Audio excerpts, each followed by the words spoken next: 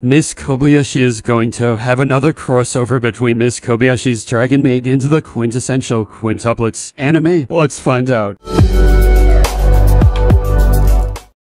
Kobayashi, an average working woman, unwittingly befriends a dragon who takes human form and offers to serve as her live mate, bringing all manner of fantastical beings and disruptions into Kobayashi's life. In the other hand, Yotsuba Nakano is one of the six protagonists of the Japanese anime and manga series The Quintessential Quintuplets. The fourth sister of the Nakano Quintuplets, Yotsuba is the most outgoing and cheerful of the five. Good news is, the public announcement for the teaser trailer is now on Cartoon Network Australia. If I was right about Cartoon Network's conspiracy to premiere the episode on Cartoon Network Australia. Miss Kobayashi befriends Yotsuba Nakano from another universe to fight the main antagonist from Chainsaw Man. Called Makima, Cartoon Network will know about the crossover special. We'll see soon. We'll hope to see this awesome anime crossover very soon.